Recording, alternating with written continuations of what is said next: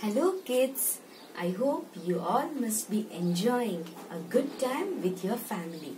Today I'm going to tell you something interesting. Would you like to see that? Okay, can you see the plants around here?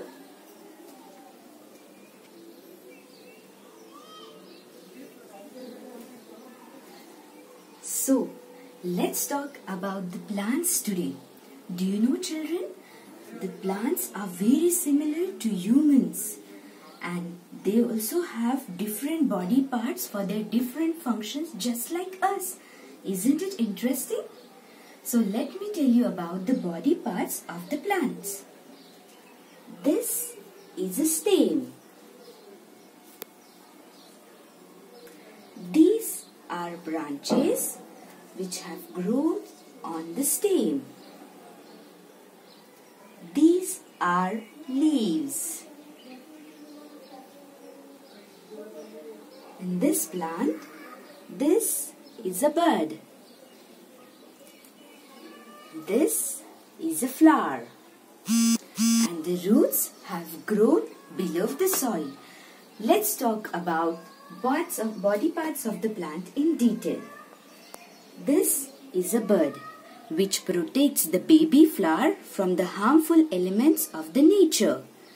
This is a flower which is most beautiful and colorful body part of the plant which attracts bees and other insects. These are leaves.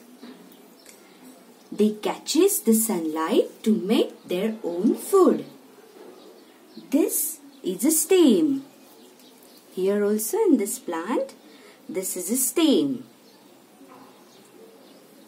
which acts like a pillar of the plant. It carries food, water and mineral to the body part of the plants from the roots. And roots are also act like an anchor of the plant. They make sure when the winds are too harsh, that time they will hold the plant firmly in the soil. Now I have something healthy and delicious in my hand. Yes, what is this? This is a fruit. And fruit is also one of the important body part of the plant. It contains food and excess seeds and sometimes they also help the plant to disperse seeds. I hope children you all have understood the body parts of the plants. So why don't you rush to a kitchen garden and see the body parts of the plant by yourself? This is me zooming out. Bye bye.